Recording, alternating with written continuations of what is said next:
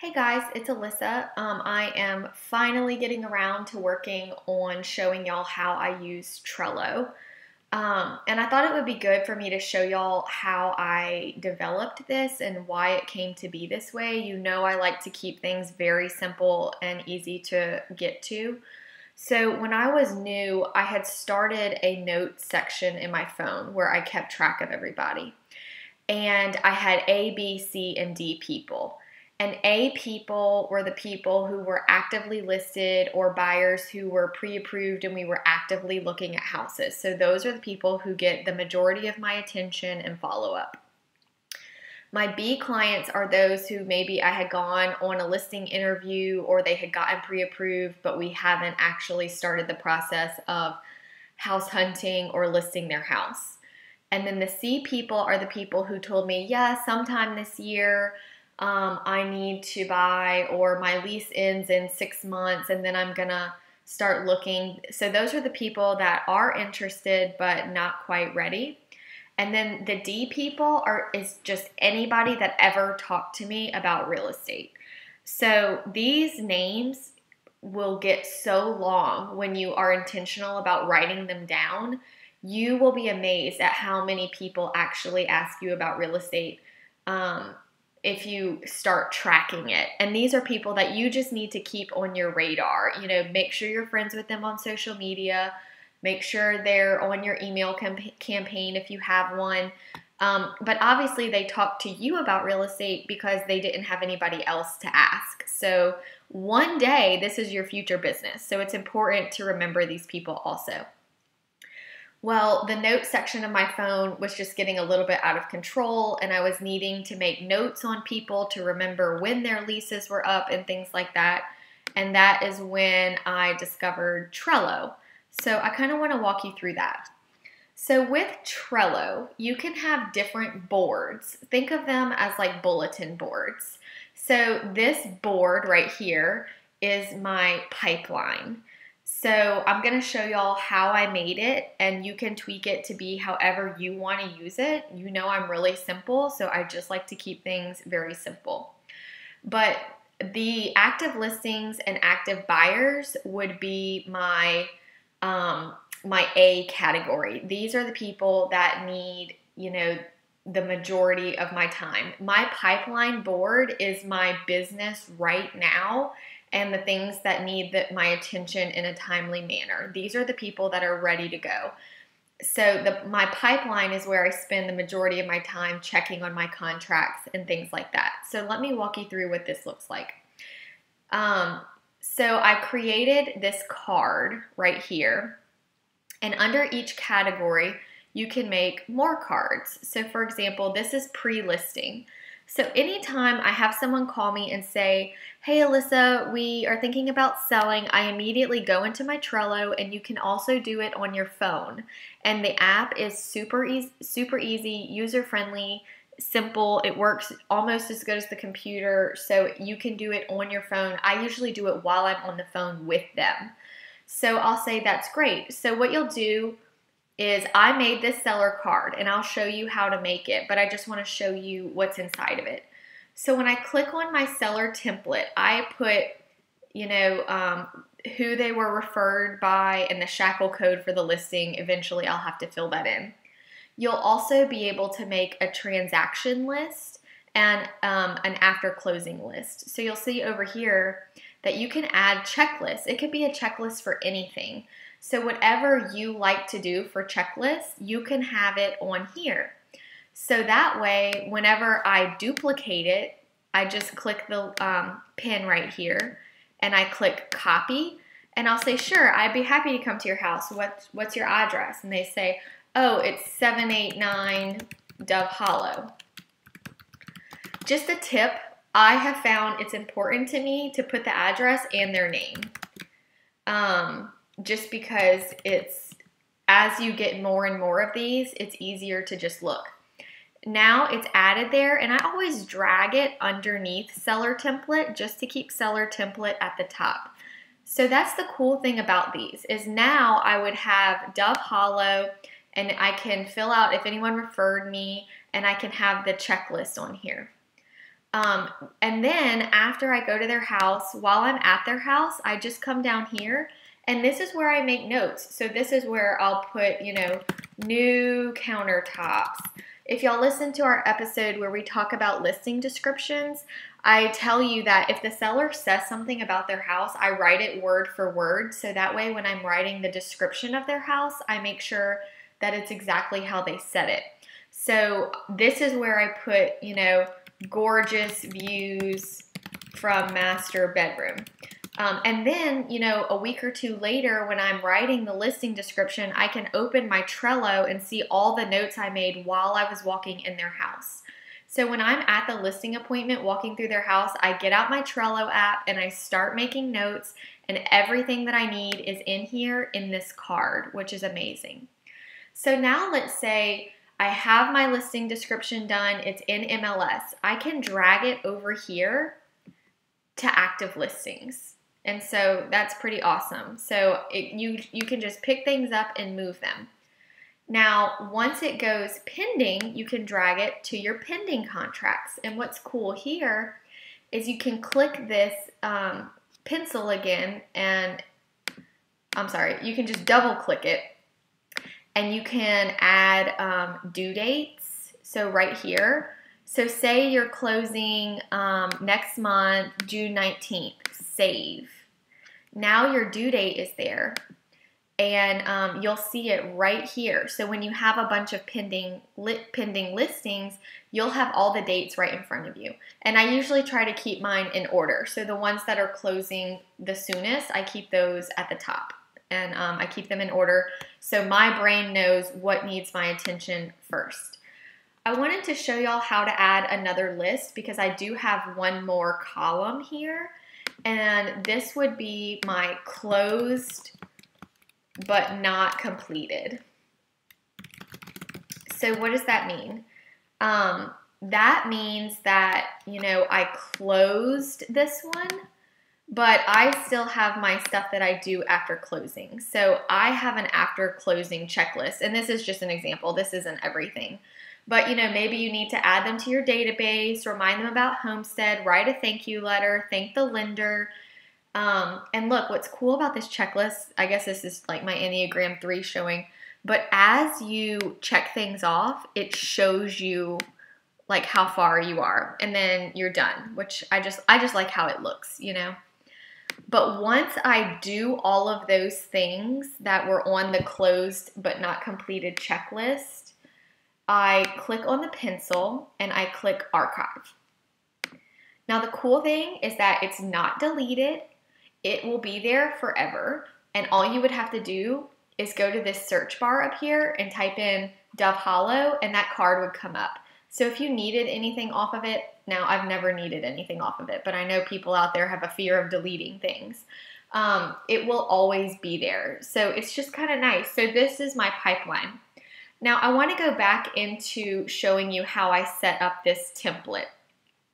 So whenever I created the pre-listing card, I'll just start from scratch, okay? Add a list. This will be pre-listing.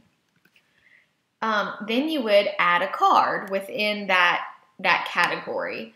So then you would type in seller template, add card. Now, what do you want this template to look like? So for example, I made all of my sellers purple. Purple, right there. And then description. This is where you would write any information that you like to keep about your your sellers. Keep it simple because you're not going to use this as much as you think. I like to remember who referred them to me and I like to have my shackle codes in here and that's all I have. If you would like to add a checklist, you just click checklist and you can do you can name it whatever you want. So we can have transaction checklist.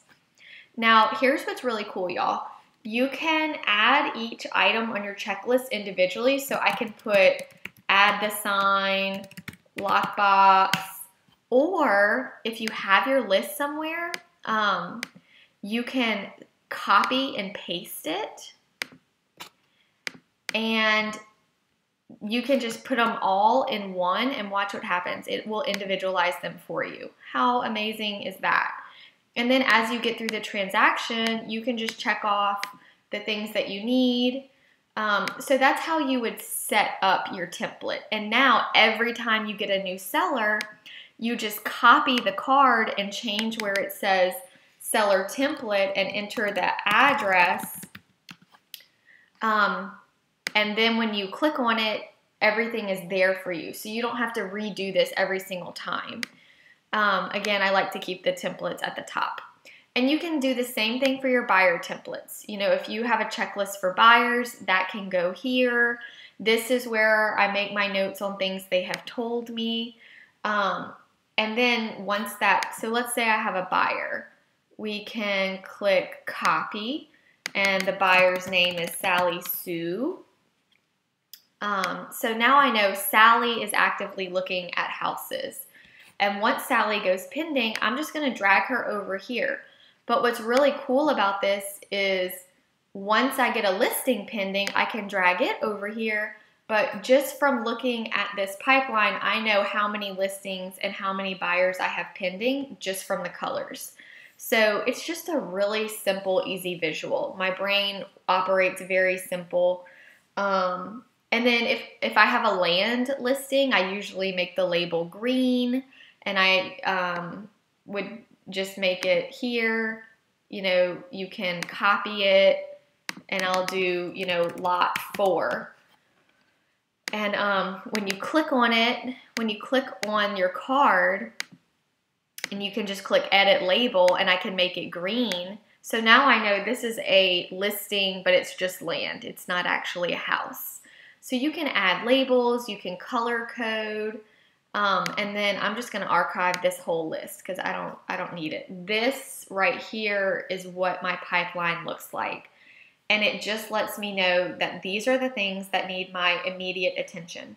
The other cool thing about this is that you can invite people right here that also have access to your board. So if you have an assistant or a team member, they can also come here and check on the checklist and say, oh, we're pending with Sally Sue let me click on her and see where we are in the checklist.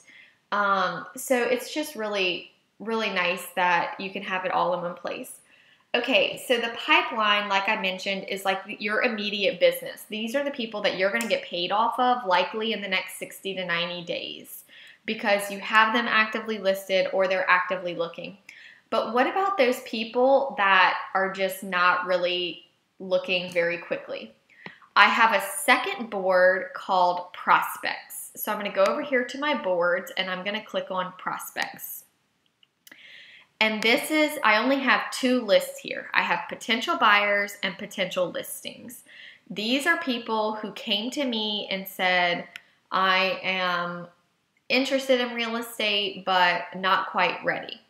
So what you would want to do is you would want to make that card again. And you can actually go back to your pipeline and click on seller um, and you can move this, move this template and you can move it and change boards. So I can move it to um, mock pipe.